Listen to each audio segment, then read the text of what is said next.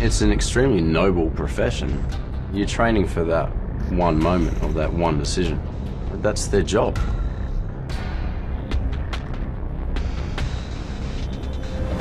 You check your ego at the door. Everybody knows what their job is, and it's expected that you do it. 10 in accident, Columbus Drive Bridge, quad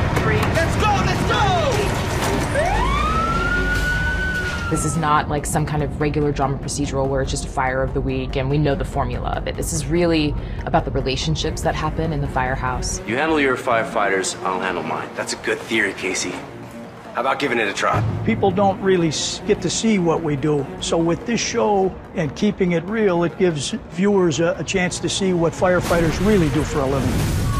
Wow, this is bad, bad, bad. The training that they gave us at the Chicago Fire Department, the shocking part was just how much you need to know to be a fireman. I mean, the first thing that Chief Chikaroda shows you when you walk into the firehouse here is is the wall of those that have fallen, and it, it immediately makes it real for you. You don't just represent Chicago firefighters, you represent firefighters around the nation. Like in any job, the reality of the situation is always very different from how you first perceive it. Roof is open. We have advisors from Chicago Fire Department, from a couple departments uh, on set. Hey, there he is. What's up, man? What's up, Miami Beach? Hey, man, man. They took us and showed us all of our all of our tools, how to use them, how to work them, how to check them properly. That's loud. They teach us everything. It's easy with them there. But yeah, we actually have to pry open the doors, pry off the doors. Yeah! That's what I'm talking about. It certainly Yeah, yeah, does yeah. build strength. It's like my or it shows you that you have none. You're letting your entire family down right now. They'll use the jaws of life to open the car, they'll be cutting away the windows.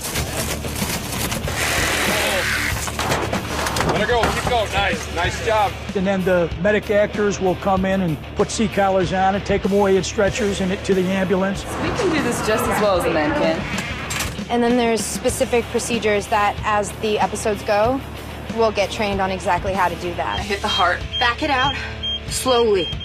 They just want it to look real. They don't want it to feel like a TV show that's not quite authentic. Pressure's coming up. Go. The smoke room is live fire conditions, so it's zero visibility. They burn a lot of um, straw.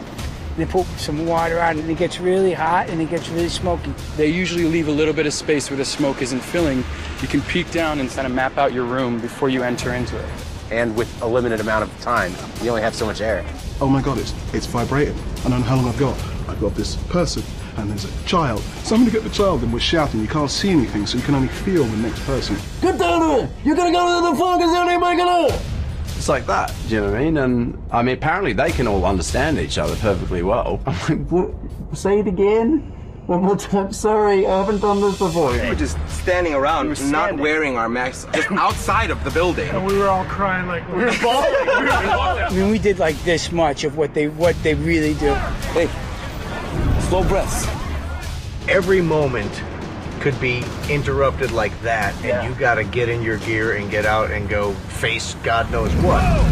Go, go, go! I mean, there's stories they tell us that you would want to put on television, but you couldn't because no one would ever believe that it was true.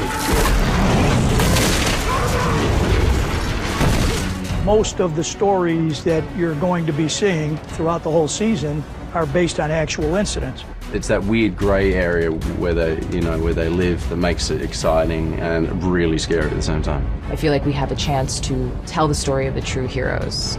And these are a lot of stories that go untold. I hope we represent them really, really well, but I'm also going to have an awful lot of fun.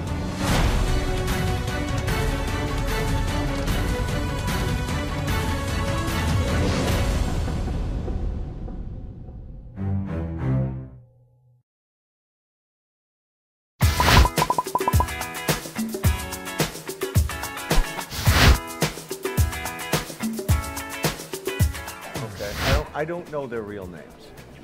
I know this one. I win this game already. Everybody, yeah, rock your body.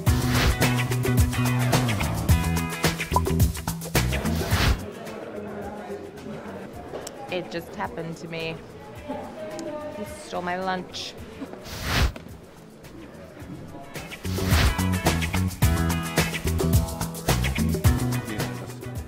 You can tell by how long it took me to ride it. Uh,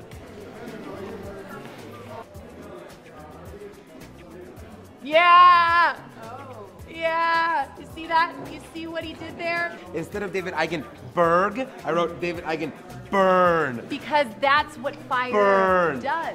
So I not only not only did I make a reference to his name Yes. and pun on the question, Yes. but I also burned him in the process. Oh! Drop the mic.